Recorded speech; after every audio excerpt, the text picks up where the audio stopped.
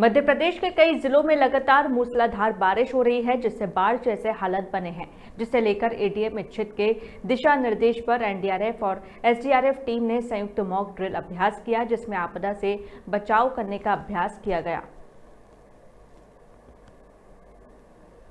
पिछले वर्ष की यदि बात करें तो इसी दौरान जो है वो बाढ़ आई थी। और इस बार भी जो है, उसी को मद्देनज़र जब अभी सिंध में तेज़ बहाव दो दिन पहले था अभी तो आज फिर कम हो गया है तो उस समय जो है हमने S D R F N D R F और होमगार्ड के जवानों को ले जाके वहाँ लगभग पंद्रह तैराक थे, उनकी तैयारियों को देखा। साथ में जो बोट आई है प्लास्टिक वाली बोट और हवा वाली बोट, इन दोनों बोट का जो है ट्रायल लिया कि कितनी देर में तैयार हो सकती